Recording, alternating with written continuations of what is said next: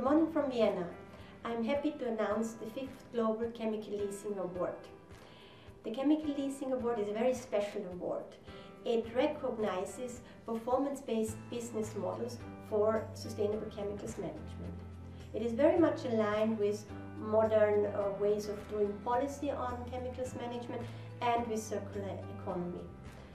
The award will uh, open on the 2nd or applications can be received as of the 2nd of December and uh, our jury will give you time until uh, 15th of May to submit these proposals. Uh, the, the, categories for this year's award or next year's award are five, five with three main categories.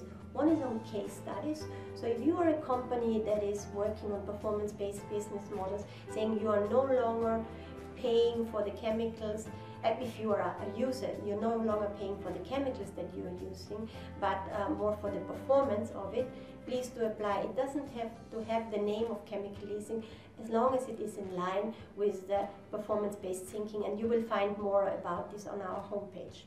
Second award, the main category award is innovation, and the third one is research. In addition to these uh, three main awards, we have two special awards.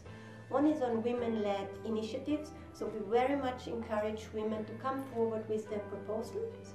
The second one is on startups. We feel that we really would like to support young um, startups uh, coming with innovative ideas and really moving forward this new idea of performance-based uh, chemicals management. So on this basis, I look forward to your applications and to seeing you in uh, Germany in October when we are having the award ceremony. Thank you very much.